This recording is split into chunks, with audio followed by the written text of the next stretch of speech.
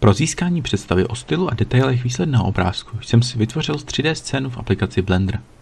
Podle této předlohy jsem začal následně dělat 2D bitmapový obrázek. Pro 2D obrázek jsem použil aplikaci GIMP. Vytvořil jsem si stíny pod artefaktem a pod svojí fotkou. Také jsem stmavil zemi, abych navodil představu louže a přidal i odlesk vozidla a mě. Pro vektorový obrázek jsem použil aplikaci Inkscape.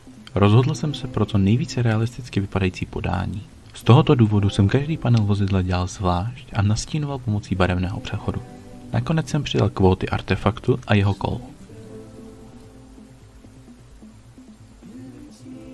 Ve 3D jsem se rozhodl pro scénu v noci. Na celý proces jsem používal aplikaci Blender 4.0. Vytvořil jsem si v něm městské pozadí, protáhl mezi domy dálnici a artefakt dal na střechu parkoviště.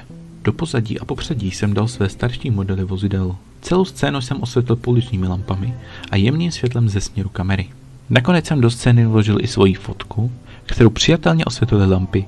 Přidal jsem jen falešný stín, aby má fotka nevypadala, že levituje.